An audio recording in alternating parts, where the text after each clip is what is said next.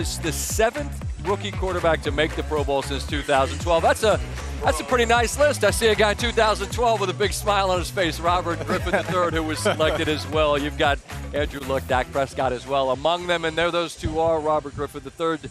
On his left is the man, C.J. Stroud. C.J., thank you for stopping by. On Countdown throughout this year, we were talking about this as a group. I feel like there are all these mile markers. You were on with us early when we could see that something was happening. You were on with me on SportsCenter after you guys clinched a playoff spot. Then you beat Cleveland and, and win a playoff game, and now here you are in the Pro Bowl all these mile markers to me invite reflection on, on where you are in the journey. As you sit here right now, can you allow yourself the satisfaction of where you are already? Yeah, man, I feel like I can. You know, uh, a lot of a lot of what's next. I feel like it was my mindset whenever I got a big win or a big a big uh, we got the big playoff win. I'm always like, what's next? What's next? But now I think it's appropriate to look back and and see uh, all the cool stuff I did this year. And really, as a team, we accomplished so much, man. So yeah, I've been smelling my flowers a little bit. Good. Just Good. appreciate it. But Good. honestly, I'm still I'm still super excited for next year and just can't wait to get back to work. Really.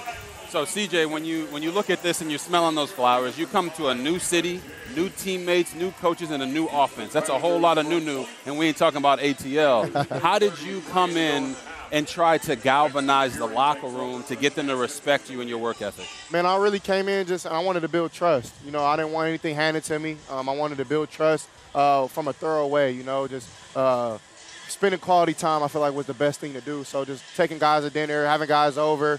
Uh, I actually got to take my teammates out to LA. We trained a little bit. Okay. Uh, got to go to dinner, went out a little bit, had some fun. You know, um, and just as boys, not even as teammates at that time, just getting to know each other. And I think all that paid off, and that's why I was a, a, a leader on the team and a captain.